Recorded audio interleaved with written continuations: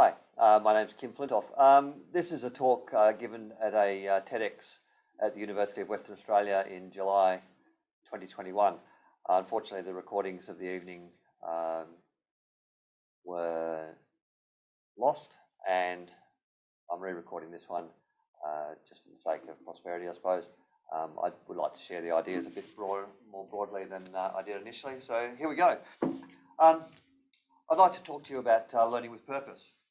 There's nothing especially radical about the idea, but somewhere along the way, education and schooling have become quite a different proposition than the social undertakings that create meaning and connected learning. Many of us will remember a time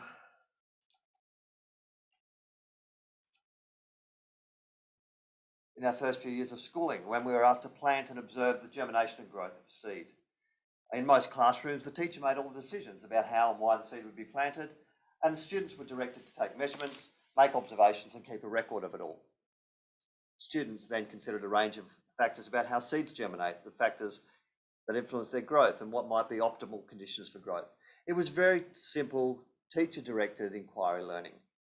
In many classrooms today, that experience is still being played out, except some teachers have fallen into a habit of making some small but some significant adjustments to the method. A variety of well reason, um, well-meaning reasons, teachers, teachers will often front load the experience with a lot of talk and information about how plants need water, nutrients, air, and sunshine to grow. Then the experience of planting a seed is simply a confirmatory follow-up. It's become transmission with experiential confirmation. This model of practice often ends up replicating the factory model of schooling, dictating single pathways and prioritizing the topic test type approach that is more concerned with coverage and results than emphasizing the capabilities that encourage learning. Front-loading curriculum often removes relevance and purpose, and we sometimes see students trapped in a cycle of topic test and forget.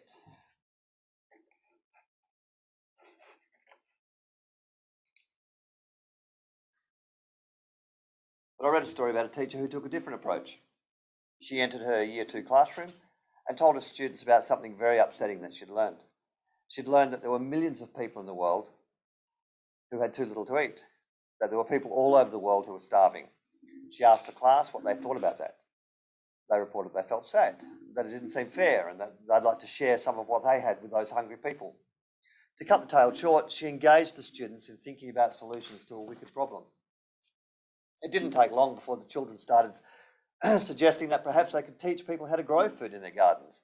At this point, the students had a purpose for planting a seed. At this point, they became active global citizens. And, and now it's very important to understand how plants grew and what could be done to help them grow well. Students had a responsibility to the starving people of the world to be able to teach others how to grow food producing plants. The shift was subtle but profound. The teacher still had all the evidence that his students had addressed the curriculum requirements in understanding the basics of plant germination and growth. There were still artifacts she could use to assess writing, recording, taking measurements, etc. But she also had a wealth of other evidence that related to problem solving, communication, collaboration, global awareness, critical and creative thinking, and personal learning. And even more importantly, her students were engaged because they cared. They were acting to make a difference, and they were discovering their connection and responsibility for other people in the world. Real world learning usually confronts us with a problem or a need before we have to search for the knowledge to solve it. In fact, John Dewey said it we only think when we're confronted with problems. Real learning is messy, iterative, ad hoc, non-linear, sometimes social, sometimes solo. It's partial and it's imperfect. It's not packaged. It's relevant to our lives and the lives of those we care about. It's reactive and responsive. Learning to learn focuses on capabilities before content. In recent years, it's all about STEM learning. And as a former drama teacher, I probably taught more STEM than I realised. We engaged with human anatomy, biomechanics, human movement, voice production, sound, light, set design, construction, materials science, electronics, programming, mathematics, and more. And that was before we took into account the themes of the creative works that we developed and the scripts we worked with. One of my educational heroes was a man called John Carroll. John studied with Dorothy Heathcote and brought his learning back to Australia.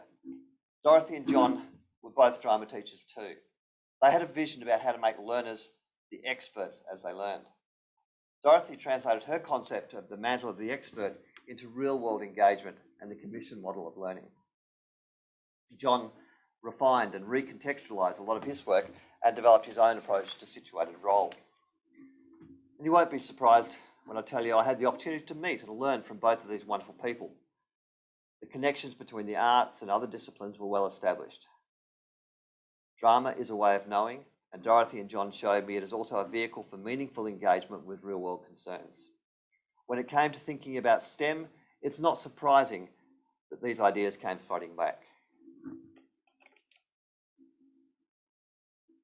STEM is all about the tools for solving problems.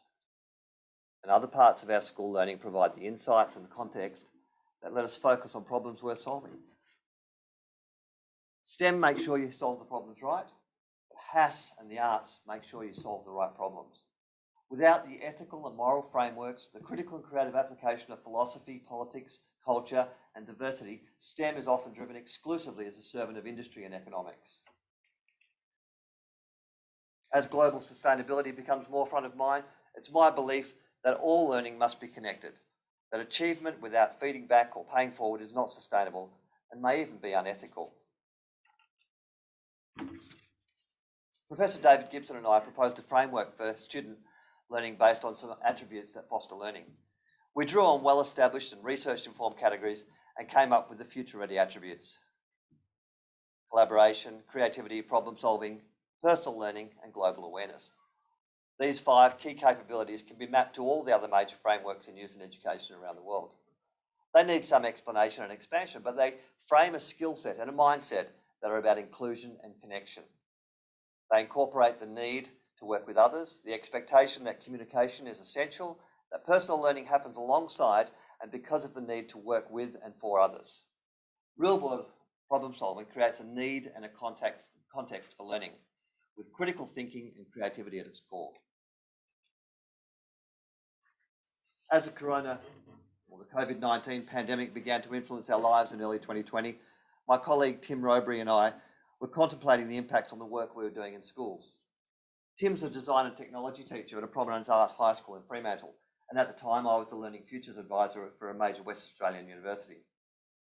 For the previous few years, we've been working to bring a different mindset to STEM education one of the projects Tim and I had been working on, uh, drew together students, the Leeuwin Sail Training Ship, university academics, industry experts, and university students to design and create virtual reality assets that can be used for awareness, training, and orientation experiences relating to the STS Leeuwin. Suddenly, we all found ourselves working from home.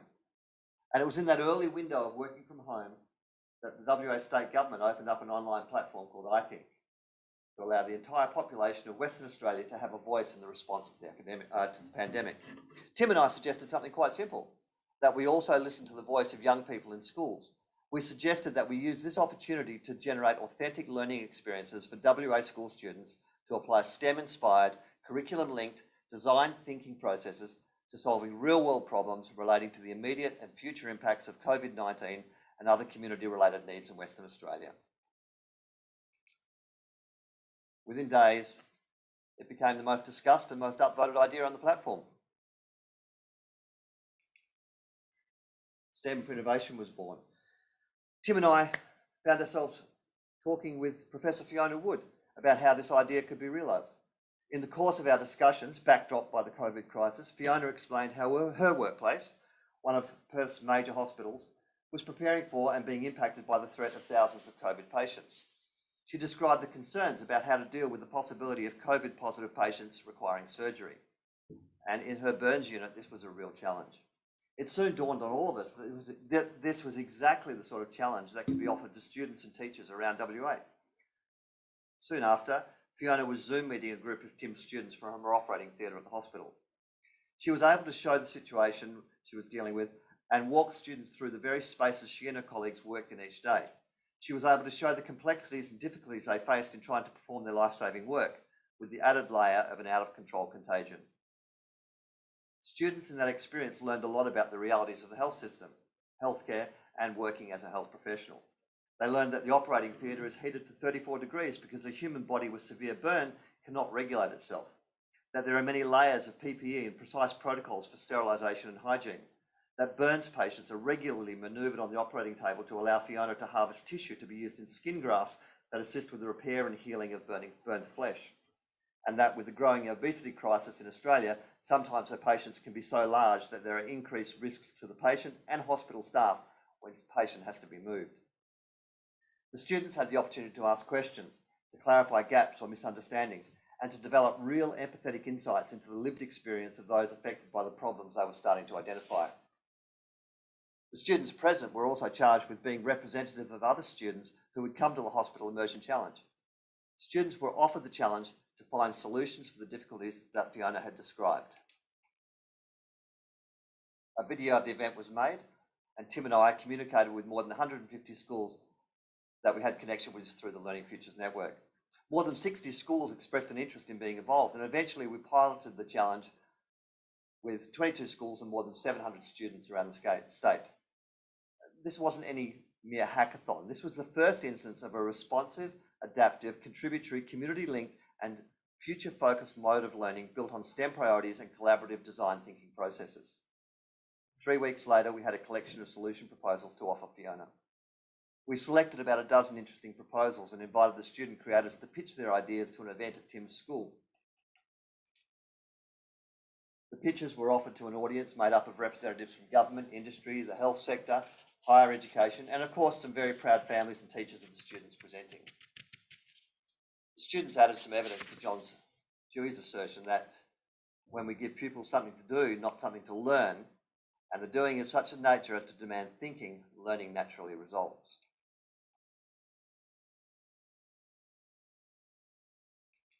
STEM for Innovation is built upon this idea of purposeful learning, as well as enabling student voice so that there are opportunities for learners to begin to shape the future that they have to deal with. Young people contributing to new visions of the future that appear so volatile, developing understanding of the systems and dynamics that seem so uncertain, participating in the communication that unpacks the complexity and applying the requisite agility to pivot when they encounter ambiguity. Since our first deep dive into STEM for innovation, we've evolved and grown. STEM priorities around our next health challenge have become embedded across virtually all learning areas at Tim's school. And as Tim says, look for STEM in your subject, not your subject in STEM. The acrimony of trying to modify the acronym to reflect it all has started to abate. In my school, the first early steps towards interdisciplinarity are underway. The scope of STEM for innovation has grown to invite all manner of industry and community challenges under the broad umbrella of six community tracks.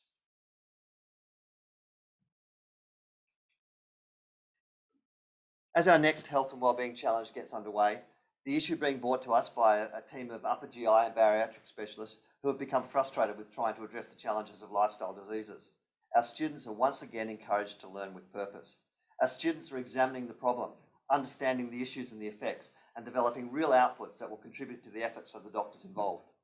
Our students are producing a variety of work that have a positive impact in many different ways. They are sharing the responsibility for improving health outcomes for all, health outcomes for all West Australians. They are still providing the evidence to enable assessment, but it's on their terms. There's no single pathway being followed. Teachers are allies and supporters of the deep learning that's occurring, and our communities are seeing that young people aren't learning to prepare for life. They are actually deeply engrossed in living their life through the learning experiences that enable them to be active and compassionate citizens with growing awareness of the futures they want to create. Our students are active agents in their own learning. They rely on each other to achieve high order outcomes. They connect and contribute to the world beyond the school gate. They are networking with real stakeholders, and our students are leading the learning and curriculum follows. Our students are learning with purpose. Remember that seed? There's a metaphor in there. Watch it grow.